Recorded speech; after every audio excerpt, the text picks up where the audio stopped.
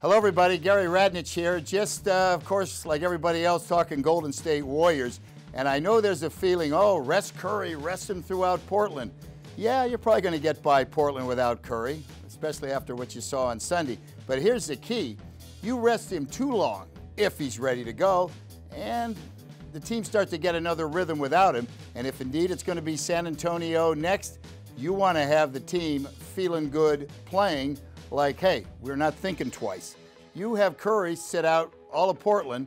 Thompson's used to a different rhythm. Green's used to a different rhythm. Then you throw Curry back in, and you could have a little struggle against a team, especially like San Antonio, which, wow, did they look great over the weekend. So that's, that's my thing.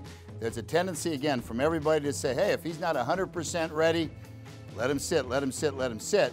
And that's why I think Curry is itching to get back on Saturday because if you're a guy like Curry, you're the MVP of the league, you understand rhythm and you want to get back. And as much as uh, this sounds, even the greatest player has a little doubt.